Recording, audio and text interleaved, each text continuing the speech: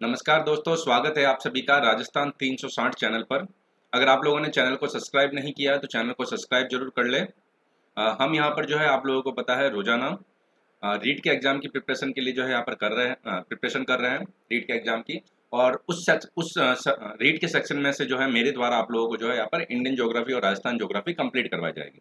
तो चलिए स्टार्ट करते हैं आज की क्लास। उससे पहले जो है मेरे बारे में आप जो है यहाँ पर ब्रीफ इंट्रोडक्शन देख सकते हैं। कि मैंने जो है कौन कौन से एग्ज़ाम्स की जो है प्रिपरेशन कर रखी है। उसके अलावा अगर हम अन अकेडमी से जुड़ने की अगर हम बात करते हैं तो आपको यहाँ पर डेली लाइव क्लासेज मिलती है और उन लाइव क्लासेज में आप अपने डाउट्स जो है एजुकेटर के साथ में क्लियर कर सकते हैं। साथ ही साथ जो है पोल्स में पार्टिसिपेट करके अपने आंसर्स को दे सकते हैं। सारे के सारे जो कोर्सेज अवेलेबल होते हैं, वो स्ट्रक्चर्ड कोर्स होते हैं मतलब कि कंप्लीट सिलेबस की प्रिपरेशन आपको यहाँ पर करवाई जाती है। और लाइव टेस्ट एंड क्विजेज आपको यहाँ पर अनलिमिटेड अवेलेबल होते हैं। ताकि आप टाइम टू टाइम जो है अपने आप को इवेल्यूट कर सके कि आपकी प्रिपरेशन जो है वो किस डायरेक्शन में चल रही है। तो अपनी प्रिपरेशन को जांचने के लिए आप live test and mock test जो है आप टाइम टू टाइम दे। अनलिमिटेड एक्सेस मतलब कि जितने भी एजुकेटर्स है राजस्थान एग्ज़ाम्स में मतलब आरपीएससी कैटेगरी में उस सारे के सारे एजुकेटर्स को आप अनलिमिटेड टाइम एक्सेस कर पाएँगे। साथ ही वन टाइम जब आप पेमेंट कर देंगे, एक बार सब्सक्रिप्शन लेने से आपको अनलिमिटेड उनके जितने पहले हो चुके हैं वो रिकॉर्डेड सेशन और अभी प्रेजेंट के जो है लाइव सेशन उसके अलावा साथ ही आरपीएससी में जितने भी कोर्सेज हैं, जैसे कि आरएस का, रीट का, पटवार का, पुलिस का, और भी कोई भी, जो भी एग्ज़ाम राजस्थान में होते हैं, राजस्थान सरकार के द्वारा जो है आयोजित करवाए जाते हैं, उन सभी के बारे में जो है आपको यहाँ पर एक ही सब्सक्रिप्शन में जो है पूरी कंप्लीट डिटेल मिलेगी। टेन वी रेफरल कोड का यूज़ कर सकते हैं आप, दस परसेंट डिस्काउंट पाने के लिए। फ्री कोर्स और प्लस कोर्स में जो है यहाँ पर डिफरेंस है तो आप यहाँ पर देख सकते हैं। प्लस कोर्स में आपको जो है कंप्लीट सिलेबस करवाया जाता है। फ्री कोर्स में जो है कोई स्ट्रक्चर्ड कोर्स नहीं होता। अनलिमिटेड प्रैक्टिस टेस्ट वहाँ पर आपको एक लिमिटेड प्रैक्टिस टेस्ट मिलता है। यहाँ पर अनलिमिटेड कर सकते हैं, ताकि आप जितने ज़्यादा मॉक देंगे, उतना ही ज़्यादा अपने आप को इवेल्यूट कर पाएँगे। पीडीएफ जो है अनलिमिटेड पीडीएफ और नोट्स आपको यहाँ पर अवेलेबल होंगे। और regular doubt clearing sessions by top educators तो इंडिया के जो टॉप एजुकेटर्स हैं, उनके द्वारा जो है रेगुलर डाउट क्लियरिंग सेशंस आपको यहाँ पर टाइम टू टाइम अवेलेबल होते रहते हैं। फ्री स्पेशल क्लासेज को अनलॉक करने के लिए आप प्ले स्टोर पर जाकर अन अकेडमिक लर्निंग ऐप को इंस्टॉल कीजिए और वहाँ पर रेफरल कोड टेन वी का यूज़ करके फ्री स्पेशल प्लान को जो है फ्री प्लान को आप अनलॉक कर सकते हैं। खुद को रजिस्टर करने के बाद में मेरा सजेशन आप लोगों को यह रहेगा कि वन ईयर या टू ईयर का सब्सक्रिप्शन लें। क्यों वन ईयर या टू ईयर के सब्सक्रिप्शन की प्राइस जो है हमारी इतनी कोई ज़्यादा नहीं है, सात हज़ार रुपये मात्र एक साल की और आठ हज़ार चार सौ रुपये जो है यहाँ पर दो साल की। लेकिन अगर उसमें भी अगर आप ten V V referral code का यूज़ कर लेते हैं तो आपके उसमें भी टेन परसेंट डिस्काउंट हो जाएगा। और छः हज़ार तीन सौ रुपये और सात हज़ार पाँच सौ साठ रुपये और आपने जो है, पहले जो स्पेशल क्लासेज में कॉइन्स जो अर्न किए हैं, वो कॉइन्स भी यहाँ पर आप जो है रिडीम कर सकते हैं तो उसमें भी आपको ये कमी मिल जाती है। ठीक है? और अगर आप एक साथ में पे नहीं कर सकते तो आप जो है इसको किस्तों में भुगतान कर सकते हैं। एटीएम कार्ड पर भी ई जो है यहाँ पर अवेलेबल है। और वो नो कॉस्ट ईएमआई है। अतिरिक्त भुगतान आपको नहीं करना है, उतना ही भुगतान करना है जितना कि आपको करना चाहिए। तो नो कॉस्ट ई है तो आप वहाँ पर इसको भी ले सकते हैं। तो चलिए स्टार्ट करते हैं हम आज की क्लास को। तो आज के हमारे जो पहला प्रश्न है, वह है, राजस्थान में वनों की कमी का प्रमुख कारण है। राजस्थान में वनों की कमी का जो है, प्रमुख कारण क्या है? वो बताना आप लोगों को यहाँ पर।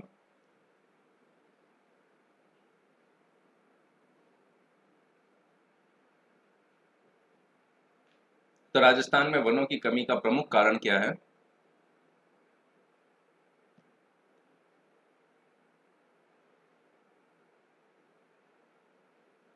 राजस्थान में वनों की कमी का प्रमुख कारण की अगर हम यहाँ पर बात करें तो पशुचारण से संबंधित है। नेक्स्ट अगर राजस्थान के माउंट आबू को पारिस्थितिकी संवेदनशील क्षेत्र कब घोषित किया गया? राजस्थान के माउंट आबू को पारिस्थितिकी संवेदनशील क्षेत्र कब घोषित किया गया? 2005, 2011, 2019, 1980 और 2008 तो कब घोषित किया जाता है यहाँ पर? 2008 में जो है राजस्थान के माउंट आबू क्षेत्र को जो है पारिस्थितिकी संवेदनशील क्षेत्र जो है यहाँ पर घोषित किया जाता है 2008 इंपॉर्टेंट प्रश्न हो सकता है इन चीज़ का ज़रूर ध्यान रखें आपसे जो है कभी भी एग्ज़ाम में पूछा जा सकता है। तेंदु पत्ते का राष्ट्रीयकरण किस वर्ष किया गया? तो कौन से वर्ष में जो है राजस्थान में तेंदु पत्ते का जो है राष्ट्रीयकरण जो है यहाँ पर कर दिया जाता है? नेशनलाइजेशन 1967, 1974, 1988 और 2000 रोज़ाना जो क्लास का टाइमिंग है वो आप लोगों को पता होगा नहीं पता है तो मैं आपको बता देता हूँ। 7:45 पर रीड के लिए जो है आपके लिए मॉक टेस्ट सीरीज़ जो है आपसे स्टार्ट हो गई है। उससे पहले जो है थ्योरी कोर्स जो है मैंने करवाया है तो इसी प्लेलिस्ट में आपको थ्योरी कोर्स अवेलेबल होगा। तो एक महीने का ये कोर्स है, पंद्रह मार्च से पंद्रह अप्रैल का। ठीक है तो राजस्थान की अगर हम बात कर रहे थे, यहाँ पर तेंदु पत्ते का राष्ट्रीयकरण जो है किस वर्ष किया गया तो 1974 में तेंदु पत्ते का राष्ट्रीयकरण किया जाता है। मतलब कि केंद्र सरकार जो है अपने अधिकार क्षेत्र में जो ले लेती है यहाँ पर, और आप लोगों को पता होगा, तेंदु पत्ते का उपयोग जो है, बीड़ी बीड़ी का जो पत्ता होता है, उसमें तेंदु का पत्ता ही जो उपयोग में लाया जाता है।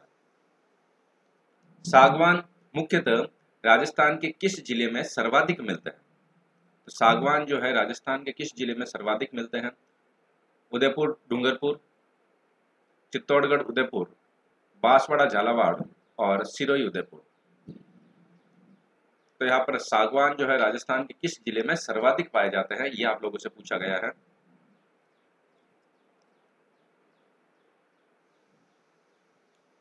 सागवान जो है राजस्थान के डूंगरपुर और उदयपुर ज़िले में जो है सर्वाधिक मात्रा में पाए जाते हैं और सिंगल स्टेट डिस्ट्रिक्ट की अगर हम बात करें तो आप ज़रूर ध्यान रखना, उसका है बांसवाड़ा। सिंगल अगर डिस्ट्रिक्ट की बात, सिंगल डिस्ट्रिक्ट की बात करें ज़िले की तो वह आपका बांसवाड़ा होगा। हृदय रोग के लिए निम्नलिखित में से कौन सी वनस्पति उपयुक्त है? या किस वनस्पति का जो है, वनस्पति का उपयोग लिया जाता है? काली मुछली सालर, अर्जुन और शंख पुष्पी हृदय रोग के लिए इनमें से कौन सी वनस्पति उपयुक्त है?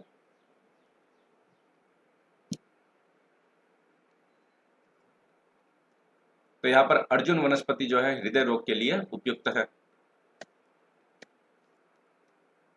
कौन सा कथन यहाँ पर सत्य है? शुष्क सागवान वन राजस्थान के दक्षिणी भाग में पाए जाते हैं। कटिबंधीय वन, राजस्थान के जो है 58.19 क्षेत्रफल पर पाए जाते हैं। मिश्रित पतझड़ वाले वन जो है 50 से 80 सेंटीमीटर वर्षा होती है और उपरोक्त सभी। ठीक है, आपको टाइमर जो है, मैं आपको वापस बता देता हूँ। अब आप कर लीजिए। शुष्क सागवान वन जो है, राजस्थान के दक्षिणी भाग में पाए जाते हैं। शुष्क कटिबंधीय वन जो है, राज्य के। 59 58.19 परसेंटेज क्षेत्रफल पर स्थित है। मिश्रित वन, पतझड़ वन वाले वन जो है यहाँ पर 50 से 80 सेंटीमीटर तक है और उपयुक्त सभी। तो यहाँ पर सारे के सारे स्टेटमेंट जो है हमारे यहाँ पर एकदम सही है। D is the right answer सबसे कम वन क्षेत्र जो है राजस्थान के किस ज़िले में? तो राजस्थान का कौन सा जिला है जहाँ पर सबसे कम वन क्षेत्र पाया जाता है? जैसलमेर, बीकानेर, चूरू और झुंझुनू।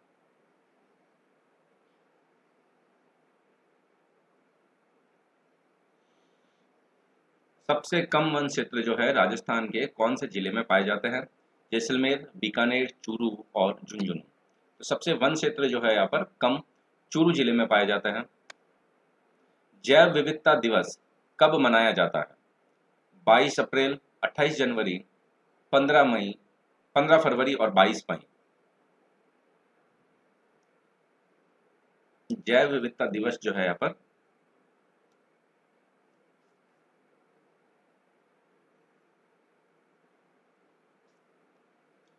जैव विविधता दिवस जो है कब मनाया जाता है, आप लोगों से पूछा गया है बाईस अप्रैल को 28 जनवरी को 15 फरवरी को और 22 मई को। तो 22 मई को जो है जैव विविधता दिवस आपका यहाँ पर मनाया जाता है। निम्नलिखित कथनों में से कौन सा कथन सत्य है? जो ट्रू स्टेटमेंट है, उसके बारे में आपको बताना है। वन भूमि को बांधे रखते हैं। दूसरा, वन बाढ़ को नियंत्रित कर, मिट्टी के कटाव को रोकते हैं। तीसरा, वायु के बहाव को नियंत्रित करते हैं। और चौथा वन वायु को प्रदूषण रहित और स्वच्छ रखते हैं और पांचवा, वन मानव जीवन के लिए बेहद उपयोगी है। तो इसमें से कौन सा स्टेटमेंट जो है हमारा सही होगा? वो आपको बताना है। ए बी और ई बी ऑप्शन कहता है ए बी डी और ई सी कहता है बी सी डी और डी कहता है ऑल ऑफ़ द अबव या A B C D E तो यहाँ पर फोर्थ स्टेटमेंट जो है हमारे यहाँ पर सही है। चारों के चारों जो है हमारे कथन सही है। राजस्थान सरकार के द्वारा पहली वन नीति का अनुमोदन कब किया गया था? तो राजस्थान सरकार जो है यहाँ पर पहली वन नीति का अनुमोदन कब करती है? सितंबर 2011 में, अगस्त 2010 में, मार्च 2011 में और फरवरी 2010 में। राजस्थान सरकार के द्वारा जो है पहली वन नीति का अनुमोदन कब किया जाता है? तो राजस्थान सरकार के द्वारा यहाँ पर पहली वन नीति की अगर हम बात करें तो फरवरी 2010 में जो है उसका अनुमोदन किया जाता है। राजस्थान में वन मंडलों की संख्या कितनी है? आठ, दस, बारह और चौदह।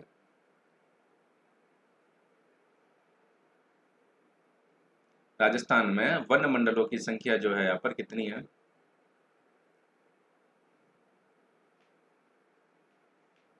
राजस्थान में वन मंडलों की संख्या की अगर हम बात करें तो 12 वन मंडल है राजस्थान में कुल।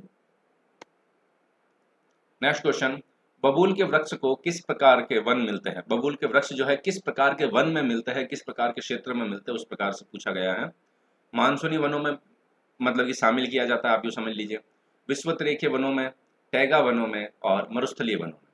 तो बबूल के वृक्ष जो है, किस प्रकार के वन में मिलते हैं?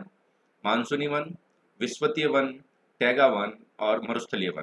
तो बबूल के वन जो है यहाँ पर, मरुस्थलीय वनों के अंतर्गत शामिल किया जाता है। डी हमारा जो है यहाँ पर सही आंसर है। निम्नलिखित में से कौन सी राजस्थानी सुगंधित घास है जिसे पशु नहीं खाते हैं? उसकी सुगंध के कारण। मतलब कि घास ही वही है। घास तो सुगंधित है, लेकिन उसकी खुशबू के कारण ही पशु जो उसको नहीं खाते हैं। मोतियों, सुगनी, ए और बी दोनों, और सेवन तो यहाँ पर कौन सी सुगंधित घास है जिसको पशु नहीं खाते हैं, उसकी सुगंध के कारण?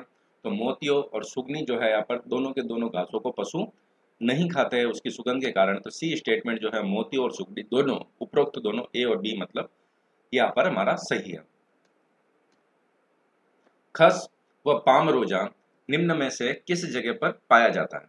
खस व पाम रोजा जो है, कहा पाया जाता है? नाथ द्वारा। लाठी क्षेत्र, भरतपुर क्षेत्र नागपुर क्षेत्र तो कौन सी जगह पर जो है खस और पाम रोजा जो है यहाँ पर हमको मिलता है? किस जगह पर मिलता है इनमें से? तो खस और पाम रोजा जो है वो भरतपुर में मिलता है। सी स्टेटमेंट जो है हमारा यहाँ पर, सी ऑप्शन जो है हमारा सही है। रोहिड़ा नामक वृक्ष निम्नलिखित में से कहाँ पर बहुतायत में पाया जाता है? तो रोहिड़ा जो है कहाँ पर बहुतायत में पाया जाता है?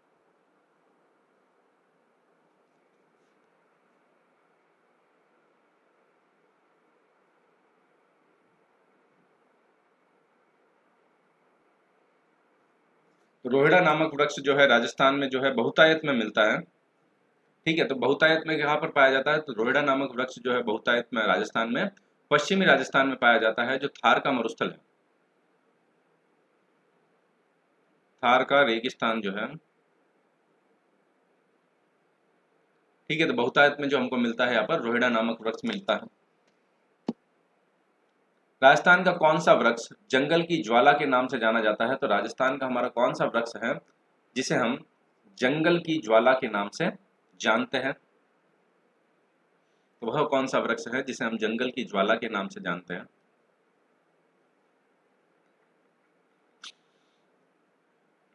तो राजस्थान का वृक्ष जो है, पलाश जो है, यहाँ पर जंगल की ज्वाला के नाम से हम उसको जानते हैं। पलाश किस जिलों के समूह में अधिकतम वन क्षेत्र पाया जाता है? तो राजस्थान के जिलों का वह कौन सा क्षेत्र है? वन क्षेत्र है जहाँ पर अधिकतम वन क्षेत्र पाया जाता है। सबसे अधिक वन मिलते हैं बारह, उदयपुर, चित्तौड़गढ़, भरतपुर, झालावाड़, कोटा, करौली, सिरोही, डूंगरपुर, बांसवाड़ा, धौलपुर और राजसमंद। तो कौन सा वह क्षेत्र है जहाँ पर जो है सर्वाधिक मात्रा में जो है वन क्षेत्र पाया जाता है? तो वह वन क्षेत्र जो है बारह, उदयपुर और Chittorgarh. A is the right option. A is the right. A is the right option. Next आदिवासियों का कल्प वृक्ष कहलाता है तो कौन सा इनमें से जो है, आदिवासियों का कल्प वृक्ष जो है, उसकी उपाधि दी गई है, उसको कहा जाता है सागवान, धोकड़ा, महुआ और खेजड़ी तो आदिवासियों का कल्प वृक्ष जो है यहाँ पर, इनमें से कौन सा है, वह कहलाता है किस वृक्ष को आदिवासियों का कल्प वृक्ष। काफ़ी बार जो है इस प्रश्न को पूछा जा चुका है, ठीक है, कभी भी जो है इस प्रश्न को पूछा और भी जा सकता है तो ये इम्पोर्टेंट प्रश्न है, ठीक है तो इम्पोर्टेंट जो प्रश्न होते हैं उनको ज़रूर ध्यान रखें। तो आदिवासियों के कल्प वृक्ष की अगर हम यहाँ पर बात करें तो किसको कहा गया है? महुआ को कहा गया है, ठीक है तो महुआ जो वृक्ष है उसको आदिवासियों का कल्प वृक्ष कहा गया है। खेजड़ी का पौधा किस वंश का है? किस वंश का है हमारा खेजड़ी का पौधा? टिंगटोरिया प्रोसोपिस सिनरेरिया और इंडिका। तो खेजड़ी का पौधा जो है, यहाँ पर किस वंश का है? टिंगटोरिया प्रोसोपिस और सिनेरिया सिनेरेरिया भी होता है, लिखा हुआ आपको। सिनेरेरिया और इंडिका। आप लोगों को पता होगा खेजड़ी के पौधे का जो पूरा नाम है प्रोस्पोसिस सिनरेरिया ही नाम है। ठीक है तो यहाँ पर सिनरेरिया वंश का ये पौधा हमारा होता है खेजड़ी का। B is the right answer जंगल की सुंदरता के नाम से प्रसिद्ध पौधा कौन सा है? कौन सा ऐसा पौधा है जिसे जंगल की सुंदरता के नाम से हम जानते हैं? ढाक पलास ऑर्किड और जाबुआ ढाक पलास ऑर्किड और जाबुआ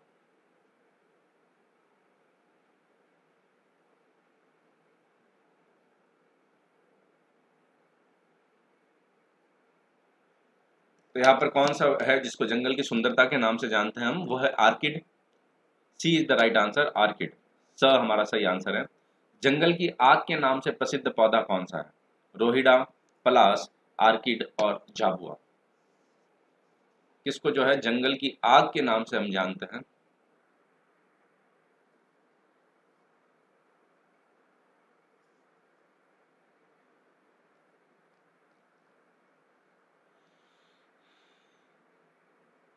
तो जंगल की आग के नाम से अभी हमने जस्ट इससे थोड़ी देर पहले ही प्रश्न किया था, जो हमारा जो है पलाश जो है जंगल की आग के नाम से जाना जाता है। राजस्थान में सागवान के उत्पादन में निरंतर ह्रास हो रहा, भारत में सागवान के उत्पादन में निरंतर जो है कमी हो रही है। ऐसे में राजस्थान जो है आशा की किरण बनकर आ रहा है तो राजस्थान में सागवान के वृक्षारोपण हेतु तो उपयुक्त ज़िले कौन से हैं? लाठी क्षेत्र के सभी ज़िले, बांसवाड़ा, डूंगरपुर और उदयपुर जयपुर, उदयपुर, चित्तौड़गढ़ और जैसलमेर, बीकानेर और श्रीगंगानगर। टाइम कम मिला तो मैं आपके लिए वापस यहाँ पर टाइम स्टार्ट जो है यहाँ पर कर देता हूँ।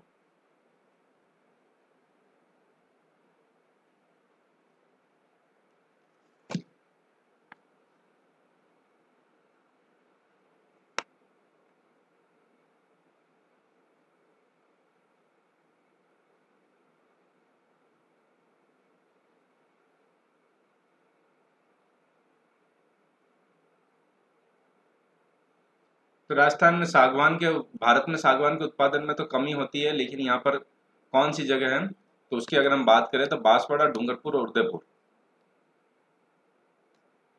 बांसवाड़ा, डूंगरपुर और उदयपुर हमारा यहाँ पर सही आंसर है। राजस्थान में लकड़ी की, ईंधन की लकड़ी व कोयला बनाने के लिए सर्वाधिक प्रयोग में लाई जाने वाली लकड़ी कौन सी है? तो वह कौन सी लकड़ी है जो सर्वाधिक प्रयोग में लाई जाती है? धोकड़ा, सरकंडा, सूखी हुई घास की लकड़ी और सूखी हुई शेवन घास।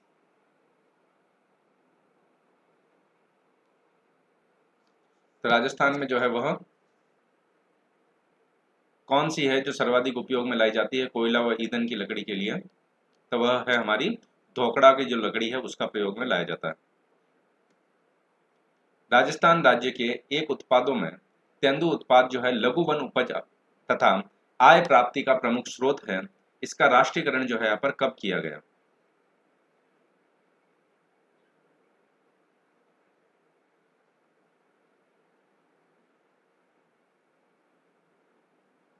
तो राजस्थान राज्य के एक उत्पादों में जो तेंदु पत्ता है, लघु वन उपज के रूप में आय प्राप्ति का भी एक प्रमुख स्रोत है। इसका राष्ट्रीयकरण जो है कब किया जाता है? तो 1974 में जो है इसका राष्ट्रीयकरण किया जाता है। सेवन घास किस जाति की होती है? सिडिकुस लसिथ्रूस, सिनरेरिया और उपरोक्त में से कोई नहीं। सेवन घास जो है यहाँ पर किस जाति की होती है?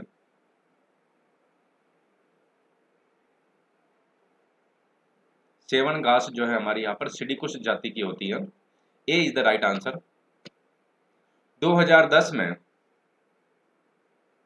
राजस्थान वन व पारिस्थितिक, वन व पर्यावरण नीति को घोषित करने वाला देश का पहला राज्य बना था। और इस नीति के तहत कितने वर्ग किलोमीटर अतिरिक्त क्षेत्रफल में एक विकसित किए जाने का लक्ष्य रखा गया? पैंतालीस हज़ार हेक्टेयर, चौहत्तर हज़ार हेक्टेयर, पैंतालीस हज़ार वर्ग किलोमीटर और उपरोक्त में से कोई नहीं।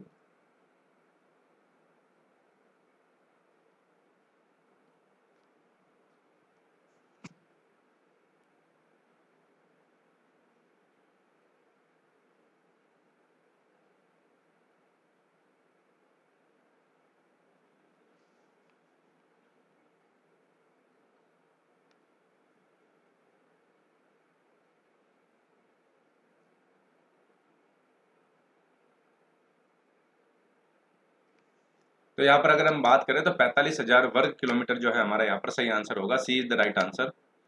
Abu पर्वत को पर्यावरण संवेदनशील क्षेत्र घोषित करने के लिए भारत सरकार के द्वारा अधिसूचना कब जारी हुई?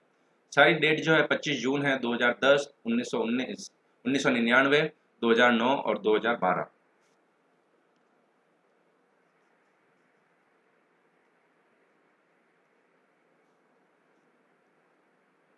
तो यहाँ पर अधिघोषणा अधिसूचना जो है यहाँ पर कब घोषित होती है? 25 जून 2009 को जो है यहाँ पर अधिसूचना जारी होती है।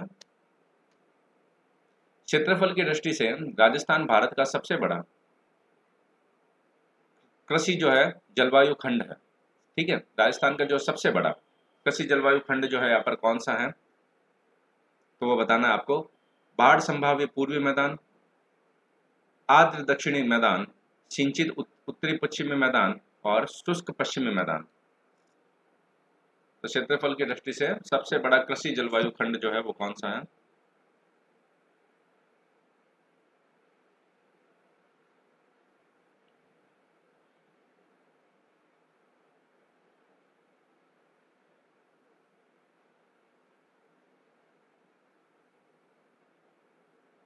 तो क्षेत्रफल की दृष्टि से अगर हम यहाँ पर बात करें तो पश्चिमी शुष्क मैदान आप लोगों को पता है सबसे बड़ा है। करीबन जो है इकसठ प्रतिशत क्षेत्र जो है राजस्थान का वो घेरता है। जलवायु वेता व्लादिमीर कोपेन जो है कहा से थे? अमेरिका, जर्मनी, इंग्लैंड और फ्रांस। व्लादिमीर जो कोपेन थे वो कहा से थे?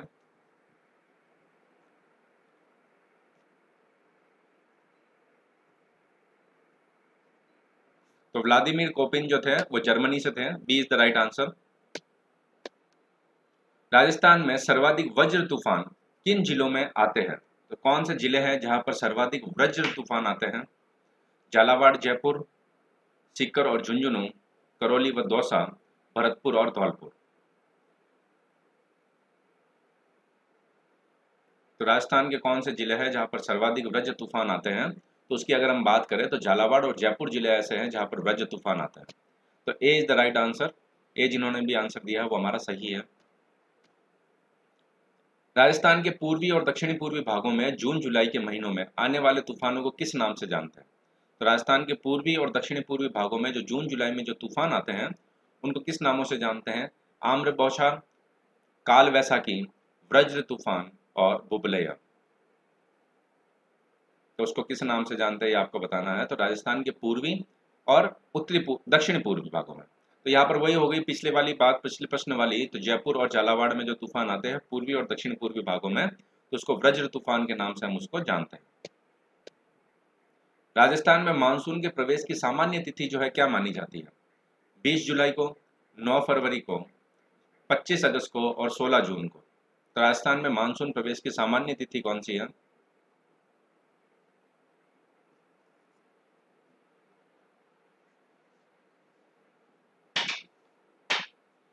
तो राजस्थान में मानसून प्रवेश की सामान्य तिथि 16 जून को मानी जाती है। डी हमारा यहाँ पर सही आंसर है। डी जिन्होंने भी आंसर दिया है, वो हमारा सही है। निम्नलिखित राज्य के, राज्य में वर्षा के दिनों की औसत संख्या वर्ष भर में कितनी है? एक मतलब कि यहाँ पर औसत कितने दिन वर्षा होती है राजस्थान में? इकतीस दिन, सत्ताईस दिन, अट्ठाईस दिन और उनतीस दिन।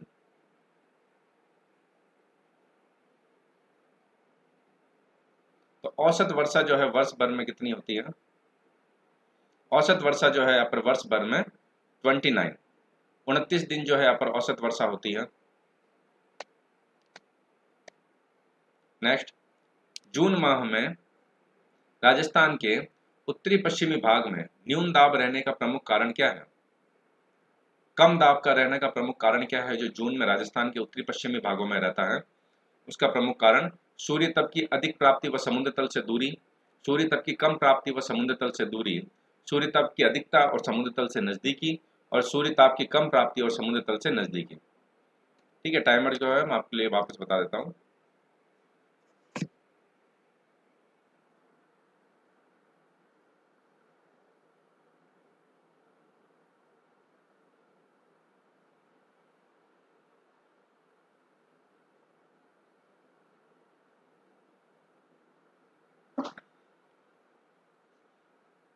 तो यहाँ पर अगर हम बात करें तो जनवरी माह में जो है न्यून दाब रहने का प्रमुख कारण क्या है? तो जनवरी माह में न्यून दाब रहने का प्रमुख कारण सूर्य तप की अधिक प्राप्ति और समुद्र तल से दूरी। ये जो हमारा स्टेटमेंट है, वो हमारा सही आंसर है।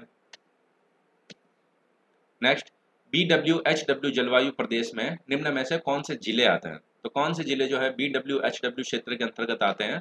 जैसलमेर, बीकानेर, श्रीगंगानगर, जयपुर, दौसा, अलवर, कोटा, बूंदी, झालावाड़ और नागौर, पाली और जालोर।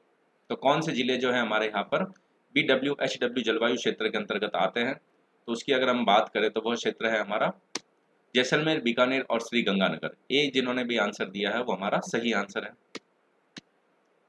राज्य का सबसे अति आर्द्र जिला कौन सा है? तो इनमें से कौन सा जो है राजस्थान का सबसे अति आर्द्र जिला है? कोटा बारा बूंदी और झालावाड़। कोटा बारा, बूंदी और झालावाड़ कौन सा अति आर्द्र जिला है? तो उसकी अगर हम बात करें तो वो है हमारा कोटा, बुरा बारा, बूंदी और झालावाड़ में से झालावाड़। झालावाड़ जिला जो है राजस्थान का अति आर्द्र जिला है। ई ए डी जलवायु जो है कहाँ पर पाई जाती है? कौन सा क्षेत्र है जहाँ पर ई ए डी प्रकार की जलवायु पाई जाती है? बाड़मेर, जैसलमेर में, अलवर, भरतपुर में टोंक कोटा में और कोटा बूंदी में।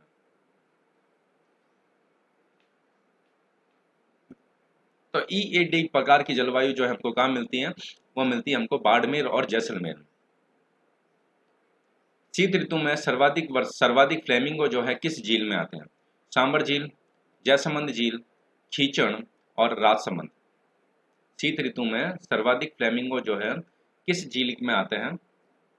राजस्थान की सांबर झील में आते हैं, जयसमंद झील में आते हैं, खींचड़ में आते हैं या फिर राजसमंद में आते हैं। तो सर्वाधिक जो है यहाँ पर फ्लेमिंगो सांबर झील में आते हैं। A is the right answer. A हमारा यहाँ पर सही आंसर है। Next question. 19 अप्रैल 2017 को राजस्थान सरकार ने उदयपुर की कौन सी झील को संरक्षित घोषित कर दिया था? तो राजस्थान की वह कौन सी झील है जिसको उदयपुर सरकार जो है यहाँ पर संरक्षित घोषित करती है?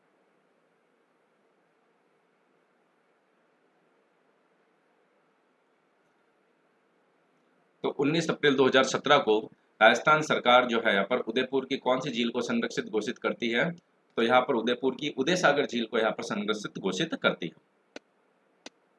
नेक्स्ट क्वेश्चन किस झील का निर्माण कांकणी नदी के द्वारा होता है? कौन सी झील है उसका निर्माण काकनी नदी के द्वारा होता है? बूझ झील फाय सागर झील पचपदरा झील और कोलायत।